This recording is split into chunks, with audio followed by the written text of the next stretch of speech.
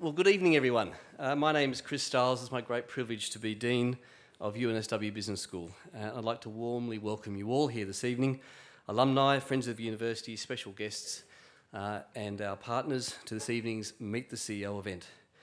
Uh, I'd also like to uh, welcome uh, our Chancellor of, of, UNSW, David Gonski, AC, AC, our alumni leaders, and valued Business Advisory Council members here in attendance.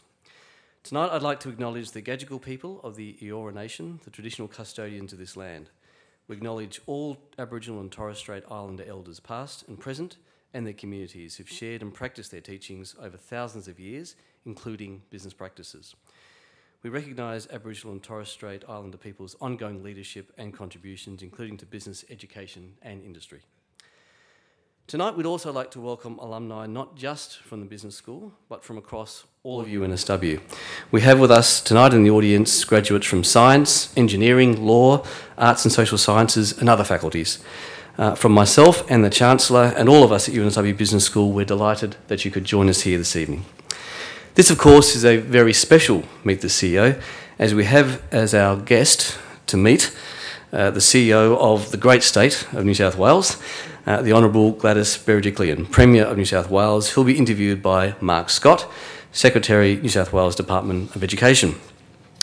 Uh, it had been my great privilege to meet uh, during my first meeting of the Premier when she was, she was Treasurer, and she was kind enough to give me some time to talk to her about becoming one of the business school's alumni leaders, which she graciously accepted uh, our invitation. Uh, after talking uh, with the Treasurer then for some time, she stopped and said she recognised me, uh, which made me somewhat nervous because she knew me from somewhere. Uh, it turns out that I taught her during her MCOM, because she, of course, is an alum of the Uni- University of New South Wales. Uh, to be specific, I taught her Mark 5001, which, of course, many of you will know is Elements of Marketing, to be precise, Session 2, 1998. Uh, this was clearly uh, a landmark experience for the Premier. As we all know, that elements of marketing are crucial for success in any career, particularly one in politics. Uh, it also happens that when I was cleaning out my files just recently, uh, I found the marks for.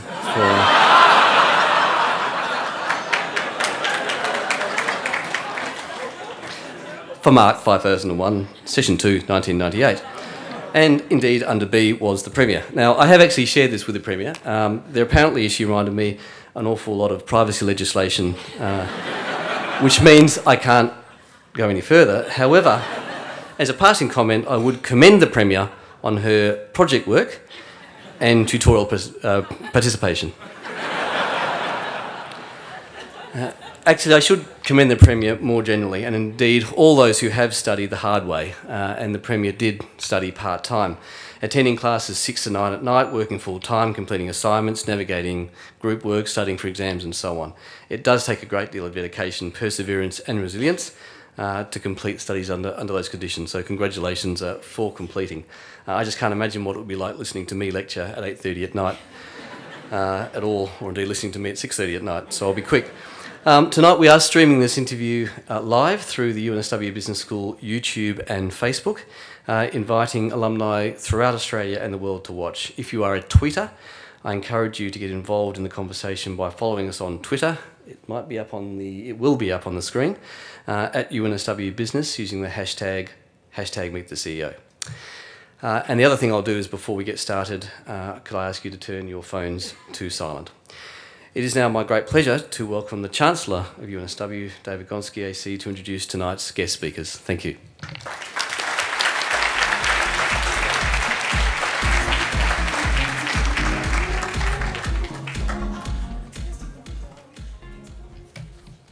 Well, distinguished guests, ladies and gentlemen, it's an enormous honour for me to welcome all of you, and there are over 500 people here tonight, and I do, I welcome each and every one of you here. We're all proud alumnus, or most of us are, and it's delightful to see you all. In welcoming you, I also acknowledge the traditional owners of the land on which this hotel stands. Now, if you're wondering why am I looking very nervous, well, for those of you who've been to this sort of event, you know that Chris acknowledges every time he looks at Mark Scott that Mark Scott is our boss. He's head of education, he's our boss. But tonight we've got his boss here as well. This could be a disaster for the University of New South Wales. And I actually sent 400 pages of notes to Chris, what not to talk about.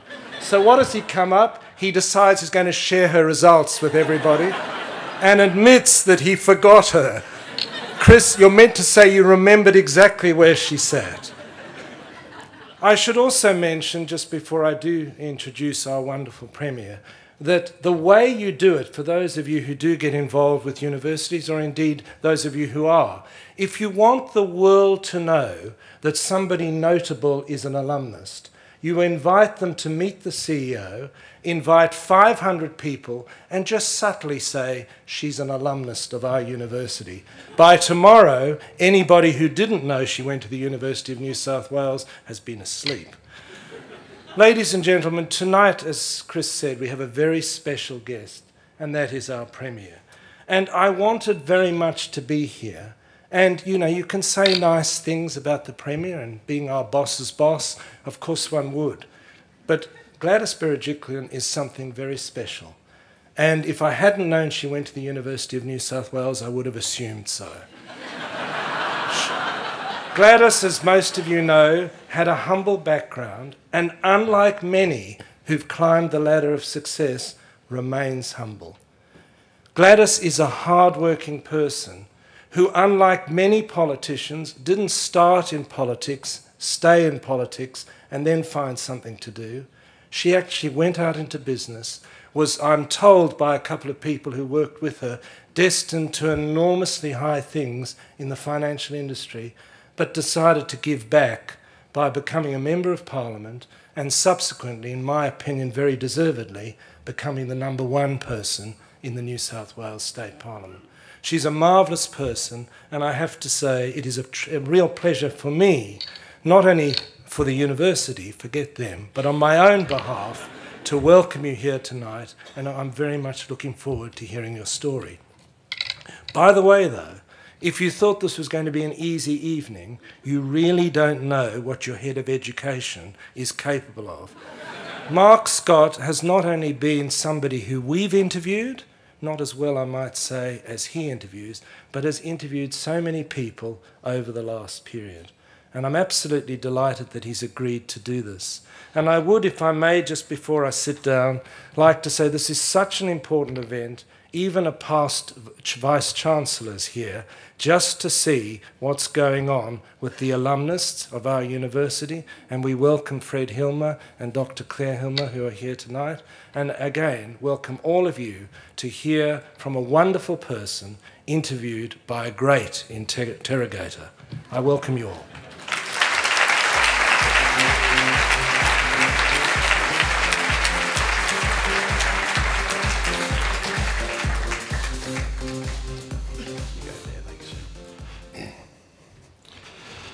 Ma'am. Uh, Premier, uh, welcome to Meet the CEO. Let me just briefly explain the format here. Uh, I throw easy softball questions at you that you can easily deal with and dispatch. That's like a press conference uh, for you. Uh, then we throw to the floor tough, hard hitting, volatile, unpredictable. They ask questions of you. That's like a cabinet meeting. Um, but but I'm, I'm, I'm, sure it will be a really interesting uh, experience for us all. The, the Chancellor talked um, a little bit about your upbringing, and I thought that would be a good place to start the conversation uh, today. Um, one of Australia's um, leading educational researchers said to me once that the best predictor of a child's educational attainment on the last day of school is their level of educational attainment on the first day of school. And when you started school, you could hardly speak English at all. And there you are in, in, a, in, a, in a mainstream uh, government school. Tell us about your early days of schooling and what it was like, in a sense, learning English in the classroom with all your peers. Thank you. Um, I was born in Sydney, but my parents were new migrants, so we didn't speak English at home. We spoke Armenian. So when I started uh, at school, I could barely, I couldn't string a sentence together. In fact, back in the day, I'm giving away my age, we had sentence makers. So in kindergarten, once you completed a sentence, you got a sentence maker on the back of your chair. And I'd go into the classroom and peer in the window every day to see if I had my sentence maker. And I was the last kid in the class to get the sentence maker. But I made sure that uh, I'd never be last at anything again. So I, it actually made me determined. And I don't remember learning English, it just happened so quickly. But I have to credit my mother because my mother said to me, and, I, and, and I'm very fortunate to come from a wonderful, supportive, loving family, but my mother said to me, Gladys, even if you don't understand what the teacher is saying, put your hand up and have a go. Don't worry. And that stuck with me. And I did have a go, and I, and I remember not being afraid of not succeeding or failing, but just trying to do my best. And I remember that so vividly, and it's kind of always in the back of my head about have a go. And um, that was my first day uh, of school that I recall um, so vividly, and um, that kind of stuck with me through my school life. And did your parents have high expectations for you, high expectations for your academic success and achievement? Well, one day um, I was in my 20s, and my mother said to me, Gladys, would you have rather have been a tennis player? Oh, sorry, it was after I was elected, a tennis player or a politician. I said, Mum, what kind of question is that? And she said to me, Well, I just noticed you were very determined, and she felt guilty that she hadn't given me tennis lessons because I'd really wanted tennis lessons. But I think what she was trying to tell me as a mother was she had a sense, she wasn't quite sure what I'd end up doing, but she had a sense that I'd succeed because I was quite determined. Mm. So I was never the most talented in anything, but very hardworking and determined. And, um, and so her question told me a lot about myself because as a mother, she saw in me a level of determination she didn't see in, in others, and so. So your yeah. mother was a nurse, and your father was a welder. He's a welder on the Opera House. I was so proud of that. Yes. So my father, um, he actually uh, left left uh, the Middle East as a student and came here with some friends. Didn't really know what to do, and his friends were kind of saying, "We're all boilermakers and welders. Why don't you join us?" And he said, "Okay." Uh, and he ended up uh, working on the second highest sail of the Sydney Opera House, which we're extremely proud of as a family. And, uh, and so I remember when we were mucking up in the back of the Valiant, going across the Harbour Bridge, my parents would say, Your dad did that just to shut us up. But it was, it was something we were extremely proud of growing up. And I guess that sense of being proud no matter what you do and working hard and doing your best were values that were instilled in my sisters and I. And, um, and, uh, and I'm really proud of that background.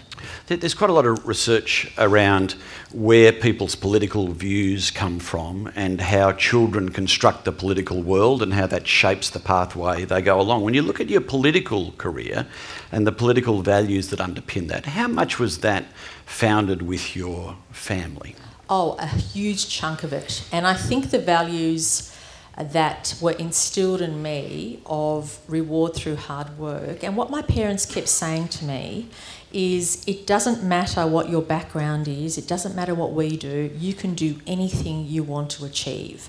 And that equality of opportunity really resonated with me that if you work hard, you should have the opportunity to be your best and your background uh, and circumstances shouldn't matter. It should be ensuring you've got that equality of opportunity and doing the best with what you have. And so those values were instilled in me uh, from a young age, although you don't realise it at the time. But as you mature politically, this notion that um, everybody deserves that equality of opportunity drew me to liberalism and then and drew me to form my political views.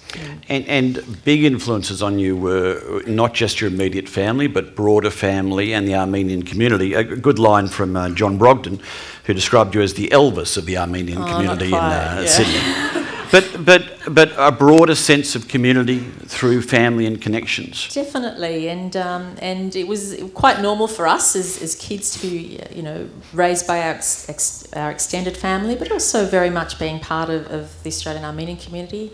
Uh, my my and I guess this comes back to the notion of in, in addition to having instilled in me the notion of hard work was also the notion of giving back. My parents kept saying to us, You girls have no idea how lucky you are to be born in Australia, living and raised in New South Wales. Use every opportunity you have. And um, uh, unfortunately, my grandparents were actually orphaned um, at the turn of last century during the Armenian genocide. And so for us, it was about uh, taking every opportunity you have and grabbing it, even if it meant you went to a public school, it didn't mean you couldn't do anything you wanted. And even if it meant you, you know, you, you had certain limitations, which we didn't know at the time, but um, but which other kids opportunities other kids may not have had. I mean, that was that was not an obstacle for us, and it was this notion of working hard, taking every opportunity that came along, but also uh, really having this notion that giving back and public service is the most honourable thing you can do. I, I, feel a bit shown up by uh, Chris Stiles because I didn't go back looking for school reports, uh, which I'd thought I was probably uh, possible. But but someone did tell me that, that I think you were you were dux of your school and, and dux of the Saturday school you're involved in. Uh, very busy, um, doing everyone else's assignments as well as your own. Someone said to me, very studious. But there is a thing that, that has caused me some concern in some of the clippings that I've seen about a, a sit in in the principal's office. Correct. Uh, that's, now, that's not the kind of behaviour no, we encourage. No, no, uh, no, so, can you please clarify what all that was about? But, Mark, can I also correct the record? I went to a co educational high school and we had a girl dux and a boy dux. I was the girl dux every year, so I can't claim to be the dux throughout all, all the time, but I was the girl dux. Um, I stand by my assertion. No, uh, sorry. Yeah. No, I don't like, uh, you know, I want to make sure I'm factually correct. Now, Anule, what was your question again? Oh, well, we, were, we, we were getting into the scandal of the sit-in, the oh, antisocial... yeah, the sit-in, the sit-in. Okay, now this is really interesting. This is when I realised that uh, people power can make a difference. So my political awakening happened at about the age of 16 and 17 when the state government at the time, ironically, which wasn't my party, but the state government at the time decided to close down our high school. And this was a huge sense of outrage. Well, they were deciding between Ryde High School and North Ryde High School. So they announced to everybody that one of these two schools had to close. And I said to my friends and my classmates, we can't stand for this. We love our school. We're proud of our school. And I was the goody two shoes. Uh, I was president of the SRC at the time. And I said, I know how to get attention. If I muck up, everybody will notice because I was the goody two shoes. And so we had a peaceful protest. We had a sit in outside the principal's office. So I encouraged our whole year 12 to sit in, wasn't that much room, but we kind of managed to go, go into his office and kind of um, fall out into the playground. Uh, to say that we wanted the school community to work with us in trying to save our school, and we did a campaign and ran petitions the old way, long handwriting, and you know all the all email wasn't around then.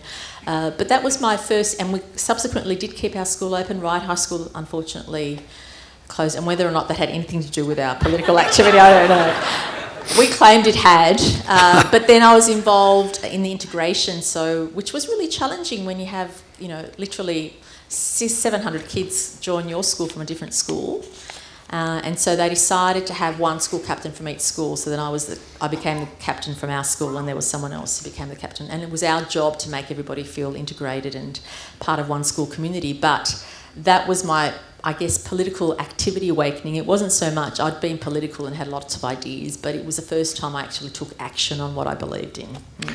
And, and if, you, if you look back, when did you decide? I mean, it's one thing to be interested in politics and to have some political experiences. It's another thing to decide that that is a career path and a destination that you might be seriously interested in pursuing. What were the catalysts around the ambition of being a politician? I think it was around my mid teens, and I'm very lucky because a lot of people that age don't really know what they want to do. But I always knew that I had to have an insurance policy because everybody around me discouraged me. I think everybody around me said, you know what, she's clever, she works hard, but she'll never make it. So uh, they didn't tell me that I'd never make it, but you can pick up vibes and you can. and so everybody said to me, look, that's really nice and noble, but you can do that at any stage in your life. Make sure you study and go to university and do X, Y, Z. So I made sure I had an insurance policy. But I kind of knew from my mid teens onwards that I wanted to make a contribution to public life. Uh, I had absolutely no idea that I'd end up where I was. I was determined to be a good local member fighting for my community, and that was the level of my ambition. Uh, I would not have dreamed of sitting in this chair being interviewed by you in the role that I have today, but certainly something did spark in me in my mid to late teens, and I do feel it was partly because I felt I wanted to make sure everybody had that notion of equality of opportunity, but also the notion of giving back, um, which I felt very grateful for given my family's experience in our new home here in this state and country. Uh, and so that combination of factors kind of, I knew from early on that I wanted to have a role in public life but not knowing that I'd succeed. It was almost like a, a, dream, an aspiration, almost like playing for playing a sport for your country or going to. Live. It was almost for me uh, what I thought was an un, unattainable aspiration, but an aspiration nonetheless. And, and when you first ran in 2003 and won the seat, I mean, that was a very tight thing, wasn't it? If 100 people had changed their mind and voted for the independent who was running, you wouldn't have, you wouldn't have won. Were you worried that your career almost may have staggered to a stop at the very beginning? Absolutely. I remember, um, I remember thinking I'm taking a safe Liberal seat to a, a marginal losing. Uh, and interestingly, my seat was regarded as a Liberal seat. However, in transition, it had always been problematic. Nick Greiner actually won and run and lost for that seat and then moved further north. Um, but I remember when I told my university friends that I was running, they said, Oh, you're changing your surname, aren't you? I said, No. So that became a dilemma. It literally wouldn't fit on the poster. So, um, so the Gladys was really big and the Berejiklian was really little. Uh, only because we couldn't fit it. Well, I was going to ask about that. It strikes me that, that if you're moderately famous, uh, like Gonski, you're known by your surname. but if you're really famous, like Beyonce or Madonna Yeah, or Kylie or Gladys, yeah, and, and even doing research on this, finding that website that's there, www.gladys.com.au. I mean, it's really. I don't think that's my website, but anyway. Oh, I, I, well, we, we, your research team is immediately looking in for Oh, this okay. now, but um, but it's got all your press releases up there, that's for sure. But but but it, that was a deliberate decision, wasn't it? Really, to It was, and I remember as a child. Imagine, no offence to my family and my grandmother, who I was named after, but Gladys was a difficult name to have growing up. Uh, and I and a lot of Gladys's I knew used their middle name, but I didn't have a middle name. So, uh, but now, ironically, when I ran, because it was different and old-fashioned, and someone my age didn't normally have a name like that, it did make it distinguishable. So, I was very lucky that you know, and I'm naturally quite an optimistic, happy person. So, Glad and Gladys became part of my uh, my local kind of base, and um, and I just got through the first election. In fact, it was 144 votes I won by out of about 50,000 votes cast, so it was a very tight margin. It took 13 days to count and recount, and I remember the election was on the Saturday, and on the Monday I went back to the Commonwealth Bank in my old job because I was convinced I was a thousand votes behind on Saturday night. Mm. So everybody had written me off, including myself and I was normally good with the numbers, so I knew the chances of me getting elected were, were very negligible. And so I went back to work on the Monday, told my team not to worry. I was back at work, life moves on. My father was prescribed blood pressure tablets, but that's another story.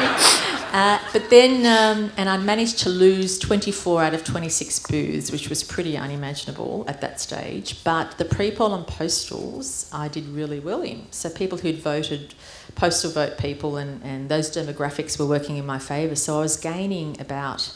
I was gaining sufficient votes every day where people started thinking, hang on, all is not lost. So from going to 1,000 votes behind on election day, I ended up after 13 days winning by 144 votes.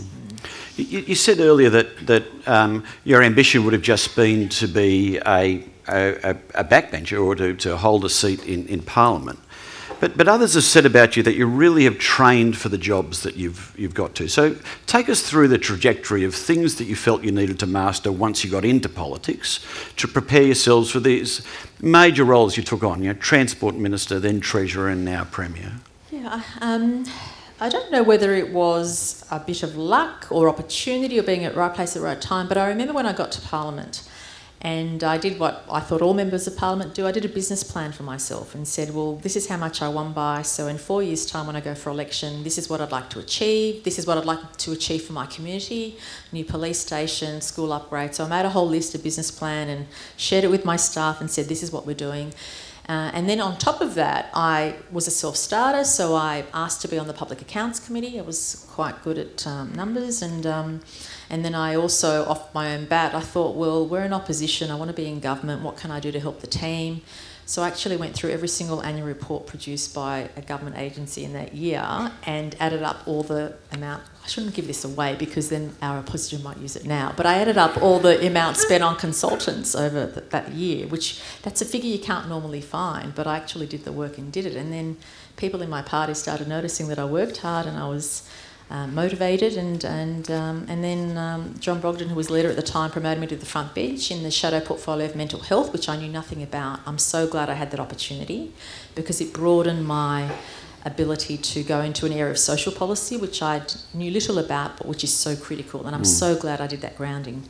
Uh, and then um, when Peter Debnam was leader and he had a reshuffle, he needed a transport minister, and he actually I love Peter Debnam, but he rang me and told me he'd already briefed people that that was a job I was doing, so I had to do it. But it was the best. It was the best uh, job I could have had because I went into it boots and all. I had the the shadow portfolio for four years, so when we came to government, I'd done that much research and homework. I cannot tell you but I was able to hit the ground running. And so I'm very proud of the Opal card. But after nearly 20 years of our opponents not being able to introduce it, I was able to get it up and running within three because I knew exactly what had to happen. Well, thank you for that. Uh, that was rather immodest and I apologise, but I only use that as an example to say when you've done the research and the homework and you know what, you can see what solutions are required, you can hit the ground running, and I had that ability to do that. Can we just dig into that a, a little bit more? Because one of the things that strikes me that's interesting about opposition is that you're really there on your own. Mm. You know, you've got a handful of staff, it's just, it's kind of nothing.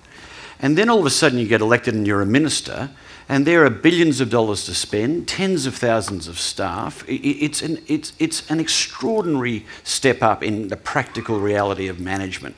You, knew what you wanted to do. How was it in getting things done? Well, I think um, what is really important in any career path, and, and all of you would know this, is I knew I couldn't fix everything and I couldn't change everything overnight. So I picked my priorities. But I also knew that in order to, I'd looked at, I'd looked at cities uh, and states around the world where they were behind about 15 years and, and how what they did to turn things around. So I looked at London, I looked at Vancouver because Vancouver is smaller than Sydney but had a similar structure. And I looked at Zurich because all the academics said that Zurich had a good structure of, of their public service in transport. And I looked at what was similar in all those jurisdictions and what we didn't have. And I knew from day one that I had to reform the bureaucracy within transport.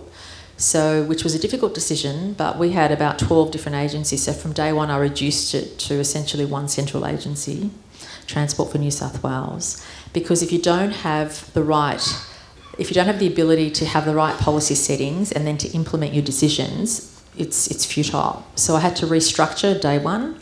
Uh, and then I had two or three clear priorities that I wanted to achieve. And, uh, and we got there, uh, and I feel I mean I'm biased, but I but I'm very proud of the work we did in those early days because it also demonstrated to me what is possible if you have a plan and you, and you across your brief and that stuck with me in all the roles I've had since. And, and you give the sense that you really loved that portfolio.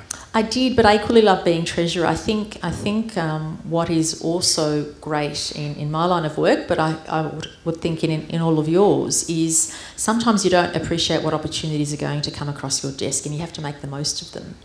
So even if you have a particular interest, uh, you know, whether it's in finance or, or anything else, you can apply that to any role you're given. And I think you can make any role your own, and that's what I did. So I used the customer service skills I'd brought from banking and applied it to transport. And, and the first thing I made the whole everybody in transport do at the time was say the customer is at the centre of everything we do. And I said to my department and my secretary, who was so supportive, I said, if there's any briefs which aren't about customer service, do not send them up to my office. So that's the law I sent from day one. I said, I don't want to, because then you get caught up in day to day stuff, which isn't really your priority. So it's really important to set your priorities and live by them and stick by them uh, to make sure you stay focused because there are so many distractions in my line of work. And uh, I needed to stay focused on what had to be achieved. So, so you were very successful um, as a transport minister, and you pulled off some things like the Opal card that many had had challenged. Uh, had, had, challenged many in, in delivering prior to you becoming minister. And then there's one of those seismic shocks in New South Wales politics with the sudden and very surprising resignation of Barry O'Farrell. And there's a lot of speculation that you might be the next Premier. And there's speculation about you and there's speculation about Mike Baird. And there's a sense that there's strong factional support for you. Um, and you don't run. Take, take us through that decision. Yeah, sure. Um, and as you said, it was it's quite shocking when um, when a leader you respect enormously, as I did in Barry O'Farrell, resigned very suddenly uh, under very unexpected circumstances. And uh, there was speculation that it was me and Mike, Mike and me. Uh, Mike and I had been and continue to be very good, close friends. And I made the decision at the time, notwithstanding what support I may or may not have had, that he was the best person for the job at that time. And I felt it was my responsibility to support who was the best person for the job at that time. I believe very strongly it was him and I um, and I strongly supported him. And I think history will demonstrate that I made the right decision. I think I think Barry O'Farrell said at the time that she sells herself short.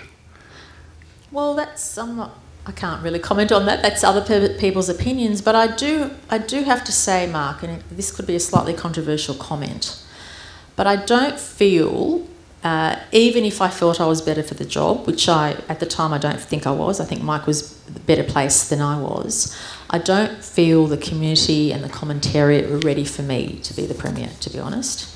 I think I was too different, and I still had to prove myself. And so, what was I different? Don't know what, I don't know what I mean. I don't. I won't. Don't want to say more than that. But um. But but for someone of my background and my gender, I always felt that I had to do more to prove myself, and I don't feel that I had met that threshold at that time. And and was that what you achieved through the Treasury years? Because Yes. when the next seismic shock happened, and there was speculation who was there, you immediately Yeah, no, uh, I that knew deal I knew that I had the capacity. Uh, first of all, I knew Mike was the best person for the job. If Mike wasn't there, I would have put my hand up. But I wanted to do what I felt was right for the state, and right for the party, and right for the transition. And I absolutely think I made the right decision. And history, I think, has um, proved me right on that. Uh, but I also felt that I had to demonstrate that I wasn't a one-trick pony. So I'd been in the, you know, transport portfolio for a long time, and uh, treasurer is regarded as the 2IC position in New South Wales, and so Mike was keen for me to take that up, and I was and I accepted. And um, and it's so important for the premier and treasurer to be in lockstep with each other to make the state go forward. And uh, and I, I hope I proved through that that I wasn't a one-trick pony. I could actually do other jobs that I was given, and it also gave additional couple of years for the community or, to accept all, all, the, all those in and around politics in New South Wales to to be exposed to me and what I was capable of. Now, shortly we're going to go to the floor for questions, and uh, also if you're watching the stream online, hashtag Meet the CEO, we'll be able to pick up some of those questions as well. Um, I want to ask you that when you finally became leader, you'd been a, a senior cabinet minister, you'd been deputy leader of the party, you'd been treasurer, but still, when you sit in the chair for the first time, what surprised you about the role? What hadn't you anticipated about being premier? Well, I'm very lucky in that I worked closely with two previous premiers, and um, I was thinking back in history and thinking how many premiers in New South Wales have had the chance to be a senior minister for six years. I don't think many had. So I knew that was an advantage. But the biggest change is changing pace. So you go from counting how many hours you work to how many hours you get to sleep or actually have to yourself, which isn't very many. But it, it's just the, just a change in pace and the multitude of issues that come before your desk on a daily basis. And the biggest challenge is to make sure you keep a focus on the strategic vision. Where do you want to take the state? And where do you want to get to? Because the daily clutter is absolutely overwhelming. And I'm not someone who um, chooses to respond to the data clutter. History will demonstrate whether that's the right or wrong move. But in the 24 hour news cycle, if I feel that I respond to the clutter every minute of every day, you don't get a chance to actually do the job people expect you to do. And, um, and everyone approaches this job in a different way. And I've tried not to change the way that I do things. Um, but as a newish premier, that's a work in progress. One of the things I think the previous CEOs who we've spoken to as part of this series we've, we've talked about is managing the short term pressures and managing for the long term. And I think there are, there are management models that say the CEO really needs to have a vision a long way out, you know, needs to have a 5, 10, 20 year strategy in play. Is it possible really to have a 20 year strategy given the way politics works now? There, there's a sense that every seat is marginal, uh, political uh, lifespans seem shorter and shorter. You know, how, how do you manage the tension? I understand the, the immediate clutter, but how do you work out the difference between governing for the election in 2019 and governing for New South Wales in 2039? Well, some very successful political leaders and leaders I've spoken to say the community will not support you unless you own the future, and the future can't be the next few years. The future has to be the next generation. So, every decision we take as a government, we must think about the next generation, the next decade, the next two decades. In fact, uh, whether it's in transport or treasury, in, in transport, the plans I put out were 20 year plans.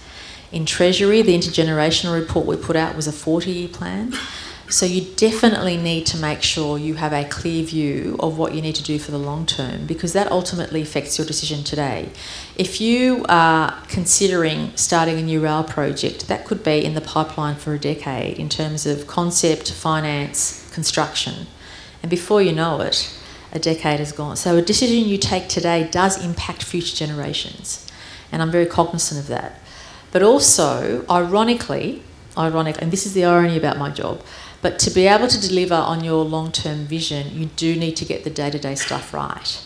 Because if you're having a bad patch for months on end in the media, it, it stops you from focusing on your priorities. So you need to minimise the distractions and reduce crisis management, have everything as planned as much as possible. Uh, to allow you. So, ironically, you need to manage the short term world to be able to deliver on the medium and long term. So, it is about juggling all those balls at the same time. And, and in the juggling, I mean, part of the challenge I think that that politicians of, of all parties and federal and state deal with is this perception the public has that they don't understand, that they're not in touch, and that they're somehow isolated from reality. What are the strategies that you have put in place to stay connected and to stay empathetic and, and tapped into what's really going on out there? Well, I've tried not to have my lifestyle change as much as possible. So when I'm coming into my city office, I still catch the bus which I enjoy. It's the most relaxing thing I get to do in the day. But I, am just trying not to have my lifestyle changed um, from what it was before I had this job. Now, it's not always easy, uh, but, um, but I think staying connected and also um, I'm someone who, who I believe does very well on the ground talking to real people and and I've made that um, my mantra. So whenever I visit communities, I, I, make sure that I go and talk to people in from different backgrounds, uh, and and feel I have a lot to relate to people with as well in terms of. Um, uh, aspiration, and you know, I, am part of the aspirational generation. I'm part of Australia, where uh, you know, humble beginnings does not preclude you from doing what you want to do, and I think a lot of people relate to that. So I've tried to make sure that that empathy I have in my personal experience, I can I can take to the streets of Greater New South Wales, and I really enjoy uh, engaging with the community on that level and um, and I hope to be able to, to continue that irrespective of whatever else I have to deal with. So I think we might go to the floor now and see if there are uh, questions from the Premier. We're going to turn up the lights and uh, see where the questions are. I think we've got a, a, a question down the front here. Uh, Glasgow Chicken, thanks very much for coming today. You are the Premier of the Premier State, which actually makes you the first among equals, the Premiers. The next step for you was obviously the big house in Canberra. given that there is a, an element of dislike between the incumbent and the predecessor, and with your great interpersonal skills, do you see yourself as perhaps being an icebreaker and a way forward for the federal party between no. Between Malcolm Turnbull and Tony Abbott? No, uh, thank you for the question, but uh, I have a big job to do here in New South Wales, and I'm absolutely loving the experience. And but what it does open your eyes to, and thank you for raising the issue. We are the largest state in Australia, but also the state that's really, if you look at uh, jobs growth. Every month those figures come in, it, I bounce with pride. We are we are creating more than half the jobs in the nation every single month. So if you add up all the jobs created in every other state, we're creating more jobs here in New South Wales than anywhere else. Another statistic is business investment has gone down on average across the nation, regrettably. Uh, by about 10%, but in New South Wales, year on year, we've gone up about 20% in terms of business confidence and investment. So, if you look at all the indicators, we are leading the nation, but there are still things that are getting our way of me taking the state to the next level, and, and a large part that has to do with how the federation is structured. So it has allowed me to dabble into well, what can I, what can I do as the New South Wales Premier to reduce those historic obstacles that have been in place for decades but have outlasted and outlived the modern times we live in and uh, and I've come up with a proposal which I've shared with my other state colleagues, and they're quite encouraged by it. I think, and I'll just use this as, as an example, but I, I didn't wasn't aware of this until I got this job.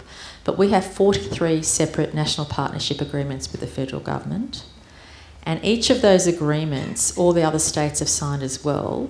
So New South Wales, given our strong economic position, strong budget position, and have I told you we've got no debt? That's another story. Um, and billions to spend on infrastructure. But um, so New South Wales and the ACT, which is about the size of one of our large councils in New South Wales, are at the same table signing the same agreements under the same criteria. That is not how a modern federation should act. And I completely respect federation and I accept um, the way that we're formed and our historical connections, but our financial relationship with the federal government has to change. And I want our national partnership agreements to be reduced to hopefully 10 in the next few years rather than 43. We should consolidate them. And eventually, I think every state should have a bilateral relation with the federal government in relation to funding issues. But of course, we should come together on national policy issues. So when we come together at COAG, we shouldn't be squabbling over dollars, but squabbling over policy and concepts and what we can do to support each other going to the next level and, and thinking about ourselves as regional and global leaders because we've got the human capital, we've got the capacity, we just have to get rid of these old fashioned systems that have been in place which hold us back. And they, they are things that I've turned my attention to since I've been in this job. And I can see a path forward, which I think all the states uh, can come along with as well. Can I just ask, in, in, the, in the first part of the, your answer to that question, you talked about the economic achievements in New South Wales, economic growth, jobs creation, no debt. Do you feel that the government gets the credit for that that it should get? I think regrettably we've normalised it. So people think, oh, we elected you to do that. But it's so hard to come from a position of dysfunctional systems that we inherited, whether it's transport, health, uh, a, we were inherited deficits and debt. And to turn that around, we had the highest unemployment of the mainland states. Just think about it. We had the highest unemployment of mainland states just six years ago, and now we have the lowest unemployment, including youth unemployment, is the lowest in New South Wales of all the states. Highest jobs growth, and that hasn't happened by accident, let me assure you. And if one other person says it's because of the property industry or because of the, the housing boom, I will just, I'll snap. Uh, they're, they're, they're, they're critical issues, but they're peripheral. I mean, we have formed major structural change. We've you know, we've increased our state's net worth, so balance sheet, by 40%. So we've recycled our, we've done so many innovative things, and I'm not sure if many of you would know, the New South Wales government is now in the top 10 largest fund manager in the nation. We've got about $90 billion funds under management because of the work we've done on our balance sheet. So, so why isn't the credit flying to the government? Oh, I think I think people appreciate and know that we have done this, but it's almost like, well, we've elected you to do that. That's your job. That's what Liberals do. Uh, and so, and we can't rest on our laurels. It's about no matter what you do, and I've realised this every time you build a new piece of infrastructure, and rightly so, the community will say, well, what about this and what about that? There's an exhaustive list, a long list, and we're making our way through it. Now, another question up the back here. Yeah. Hi, thanks for taking time to speak to us, Premier. I'd just like to know, in light of the recent Las Vegas events, what is New South Wales government's business case for the fight against terror? No, thank you. Uh, well, in relation to uh, terror, it's been uh, very um, sobering what happened in, in, in Las Vegas, and I can't imagine what the families and loved ones of the victims are experiencing. I mean, it's just a scale of destruction beyond human comprehension.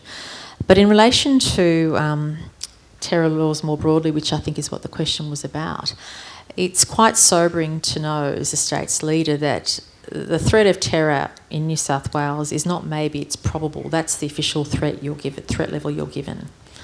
And yesterday I announced a whole series of, of reforms which some civil libertarians might say, how could you possibly contemplate that? But First and foremost, when you assume a role like mine, your responsibility is about public safety, and that has to come first. And if it means my civil liberties and those of others uh, might take a step backwards, I think that far and away um, overrides uh, the need for us to, to, to, to assume public safety. And, uh, and so for me, it's been a very um, a very sobering experience, uh, a responsibility I don't take lightly. New South Wales, I'm proud to say, has the strongest um, anti terrorism laws in the nation. In fact, at COAG today, the other states adopted what we have already announced and already what we're doing in New South Wales. But it's an example of where I've certainly shifted my position in how I react to these issues because I know the buck stops with me. As the Premier, there is nobody else. You look around and the decision stops with you. And I need to make sure I have a no regrets policy, that I do everything I can to ensure the highest level of safety and security for the community. Thank you for the question. Next question, over here. Uh, th thank you. Um, I was pleased to hear you mention inter intergenerational report because I was going to comment on it and say, note that it doesn't mention climate change at all. Um, and the budget that you were defending at the 2006 budget estimates hearings relies on ever increasing royalty income from coal exports. Actually, I've had this question before and it's not actually factually correct, but I'll let you finish. Sorry, I shouldn't have interrupted. Thank you. Yep. Um, you were asking those hearings about modelling of risks to the New South Wales budget of the world not meeting the Paris climate targets and of climate change scenarios. And you admitted that the New South Wales government has not done such modelling, although you agreed that it was your job to assess impacts of climate change on the budget. Will New South Wales be taking climate change more seriously in future? Well, I think we absolutely take that issue seriously. In fact, um, we, as all the states, have signed up to uh, zero emissions by 2050. Uh, we're investing in, uh, in many alternative renewable energy sources. Uh, I believe we are very much uh, front and centre uh, taking climate change seriously, but I, I also feel um, that we're moving with the times, with community expectations. For example, the Prime Minister had a go at me because I won't relax our, uh, our position in relation to CSG and fracking in New South Wales. We've got the balance right. We're going to protect agricultural land, protect our water catchments. And, um, and, and, and, and I believe very strongly that in New South Wales we do have the right balance. And, uh, and that, that these are challenging times when you're thinking about energy security and climate change and protecting the environment, and, and governments have to strive to get the right balance. And I'm very comfortable with the balance that we have in New South Wales. Can we do more? Of course, we can always do more. Um, and I'm and I'm pleased with, with how we're going. But but you have every right to ask the question in the tone in which you asked it because it is my job to listen to all views in the community. We're not always going to agree, but uh, but I hope you appreciate I'm someone who listens and respects your point of view and appreciate there are some in the community that want us to do more in relation to climate change, and I hear that. And I've got to weigh that view up with all of the other competing interests we have. But thank you for asking the question, and I respect and appreciate the way in which you asked it. Thank you. Thanks for the question. Premier, I think we're going right across the other side of the room now for the next question. Sir. Yes, uh, Thank you very much for your time this evening, Ms Berejiklian. And um, I just want to touch on the earlier comments you made about studying uh, cities like Vancouver and Zurich, etc.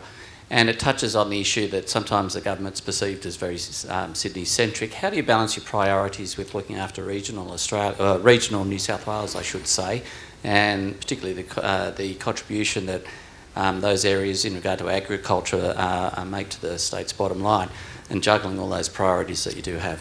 No, great question. In fact, um, one of the three priorities I identified when I became Premier was what I call local infrastructure.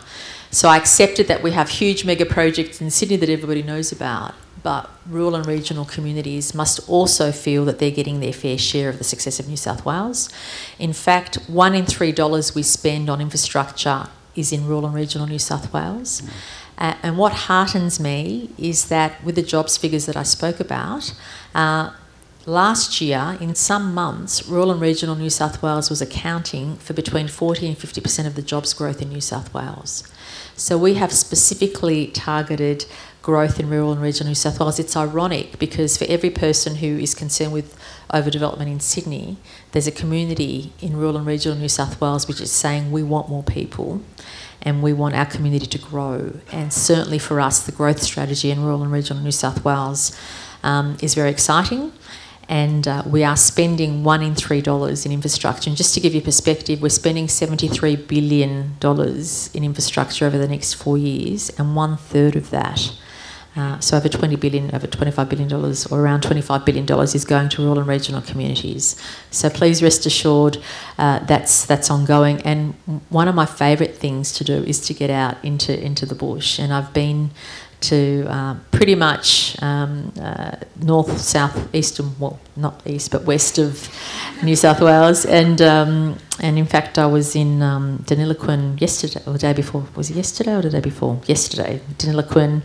and Finley, which I'd never been to before, and uh, Mathoura, and uh, and other places. And that's one of the great things about my job.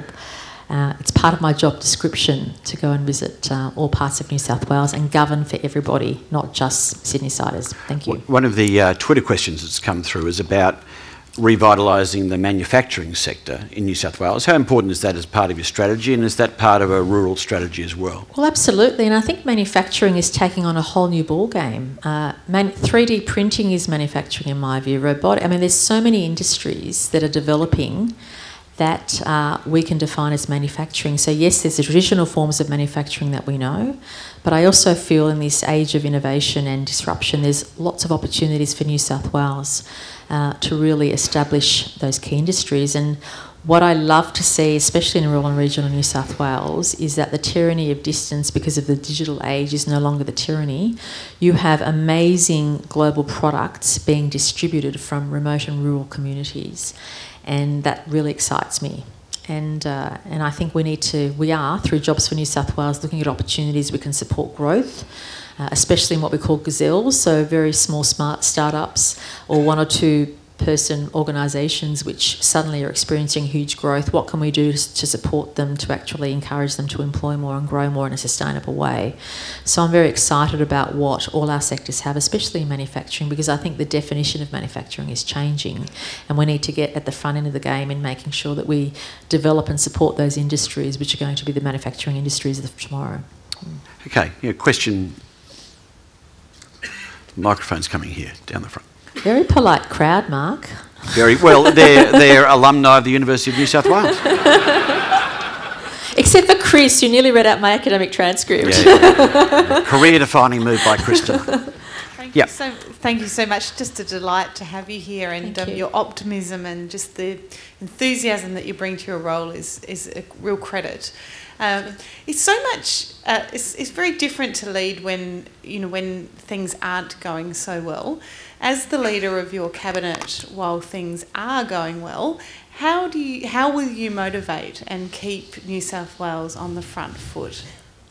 Yeah, I think the notion, um, what inspires all of us, is the notion that the welfare of 8 million people is reliant on us. And I also have a bigger responsibility. I also impart on all of our colleagues, whether they're in cabinet or not, that not only do we have the responsibility of, of, of, governing for the larger state and the quality of life of all of our citizens, but I also feel we do have a huge role in the future of Australia. And um, I don't want to get too political, but uh, not all the states are of the same political persuasion as mine and have very different policies. And, and when I talk about jobs growth, it's about sustainable jobs growth in the non government sector. It's not about middle managers in the government sector, for example, which is what some of my other state colleagues do. So I do feel also a, a perhaps moral responsibility is not quite right, the right word, but I do feel that the values that, I, that we bring as a government, we have a responsibility to impart and to, to promote uh, beyond our state boundaries because we have demonstrated success. Not all the de- decisions we've taken have been popular. Not all the decisions we've taken have been easy, but they've been the right ones in order to turn our state around and give our citizens every opportunity to have a better quality of life. And, uh, and that's how you measure yourselves. Uh, do our citizens have the options for a better quality of life? Is job security something that keeps people awake at night? Uh, what is keeping people awake at night, and what are we doing to address that? And and I feel very much that that is, if you know, that for me is such a huge motivator. And and the other huge motivator is that no matter what you do, you can always do better and more. And it's about how can we do things more differently and how can we lead the way, not just in Australia. I always say to my team, let's not just be best in class in Australia because we've done that. Let's be best in class in our region and, and globally. How can we do things that can be an example to others, or what can we take that's being done around the world to improve the quality of life of our citizens? And that's an amazing motivator. Can I ask you a question um, linked to what Julie Bishop said at a forum last night in Sydney? And she reflected on being the one woman in the Abbott cabinet. And she said that her fellow, fellow cabinet members had a kind of unconscious bias towards her contribution. And she said at times she would make a statement that would pick it, would generate no response, and then one of her male colleagues down the table would say the same thing, and it would be swept on as an act of genius. And she said that she felt that there was almost a deafness to her contribution because she was female in a male-dominated cabinet. What's been your experience? Firstly, can I say Minister Bishop is outstanding at her job, and all of Australia listens to what she says. what, what I say by that is, I think the public is uh, is very open to. Uh, to leadership that is definitive and strong, and, and she definitely uh, fits into that mould. But uh, unconscious bias, I think, always exists. I've often felt guilty for not calling it out at times when I felt it, and uh, and but I've always felt that the best way you can demonstrate strength in leadership and character, irrespective of gender, is just by getting results. So do, do you still feel it as premier? Uh, uh, of course and not just within my own environment in my workplace, but even when you go to boardrooms and elsewhere. And I think a lot of women, well, anyone who's in a minority would feel that unconscious bias that exists. I don't call it out though, and I feel guilty about that. I don't call it out because, but but but but my way of dealing with it has been traditionally to uh, to get noticed through results. Because you don't want to be defined as a good female politician or a good female leader. I just want to be defined as a good leader someone who gets results. And, uh, and for that reason, that's what's been my modus operandi. Mm. Okay. Where we going? Now, I'm looking for where that microphone is now. Next question, yeah. Hi, good evening. Um, my question relates to the stadiums debate in New South Wales, um, particularly between the, stadium, the Olympic Stadium in Homebush and uh, the Sydney Football Stadium as well as the regional stadium or local stadium policies. Um, are you able to share any updates there and um, yeah, get, elaborate on that? Thank you. No, sure. Um, we've said on the on the public record that we are investing record amounts in, in lots of different infrastructure, uh, including including stadia and. Um, and uh, we've said that ANZ Stadium at Olympic Park will be the priority for us, and we'll have more updates to give on that. But um, we've managed our finances so well that we have the ability to invest in that infrastructure and and that makes me feel incredibly proud. And I just wanted to make the point when when the very outstanding Australian David Gonski was making his remarks at the lectern, I remember, uh, I don't think I'm speaking out of school, when he and I were discussing the concept of light rail. And it was just an idea, a concept. But then to, to be able to see that translate into a project which is going to make a huge difference, not just to this institution, but to to, to New South Wales. Um, and the stadia policy is similar. When you're in a position to be able to make decisions which are going to make monumental change and positive contribution to the community, it's very exciting. So I always say to people, um, look at our record. Uh, we'll make, you know, provide updates and make announcements at the right time, but um, also feel confident that not only will we continue with our major infrastructure agenda in the regions, in the cities, but also accelerate it. And that makes me feel very excited. Part of the commentary um, when you became Premier was the contrast between you and your predecessor. And um, perhaps as a, as, a, as a final question tonight, you know, Mike Baird um, was in the paper today saying that he only ever intended to serve a, a, decade. He came in later, he did a decade, and he's moved on into a career in banking. You told us tonight that your political ambitions started early and you planned your critical career early. Do you see yourself as more of a, a lifer in politics? Do you have any ambition outside politics and, and, in your own mind. You don't have to tell us tonight. If you want to, that's fine. By we'll keep it in the room. You do heard you, it first. Do you have a Do you have a, an optimal timetable for your political career? I never have had an optimal timetable, and the people of New South Wales will ultimately make that decision. Um, but I've always believed in working my guts out in any job I've had. And I've always felt, and, and I remember I was always sometimes cast as the very ambitious kind of Lady Macbeth character that had plotted all these things. But in all honesty, I'd always thought about how can I be the best at what I'm doing and not think too much about the next step. If you don't do your current job well, nothing else is an option. And uh, I've, I've never really, I mean, I've been very meticulous in how I want to carry out my responsibilities, but I've not thought too much about the next step when it comes to politics. Um, but I, I, I, I, have to say that uh, as much as I love my job and it's, I feel extremely privileged to have this role, um, you know, I, I feel that the five years that I spent in banking before coming to politics set me up so well for this career. And I think those people who are successful in life, in, in business generally, understand the bridge between government and business and business and government. And I've felt that has been a strength of mine. And uh, it's something that I that I believe um, Mike was outstanding at it as well, given his background. But I, I, just feel it's important to have those bridges, and I'm grateful for those bridges, but I don't think too much beyond doing a great job in the role that I have.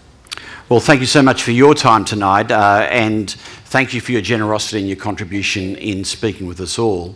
To propose a, a, formal vote of thanks, Michael Ellis is a member of the Business Advisory Council of the University of New South Wales and a director of McKinsey's, and Mike's going to come and, and wrap things up for us tonight.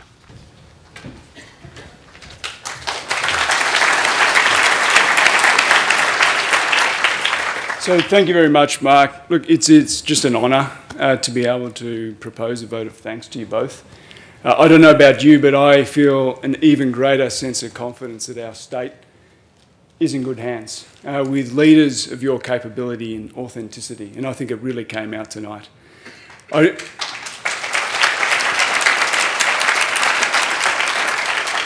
I also uh, do want to thank you, Mark, for asking the question about the sit-in. Um, and and Premier your uh, education reform attempts uh, in those days. I suspect between the two of you, you've got different uh, levers in your hands now for future education reform. But thank, thank you for sharing that earlier. Um, you may know that the purpose of the Meet the CEO events is to provide alumni with access to the men and women whose leadership have fundamentally altered the way business and the, and the business of government is done.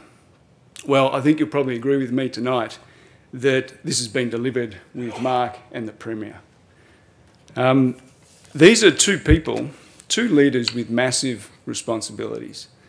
For example, Mark is responsible for 2,000 students, 86,000 staff, and eight, excuse me? Excuse me, 2,000 schools, 800,000 students.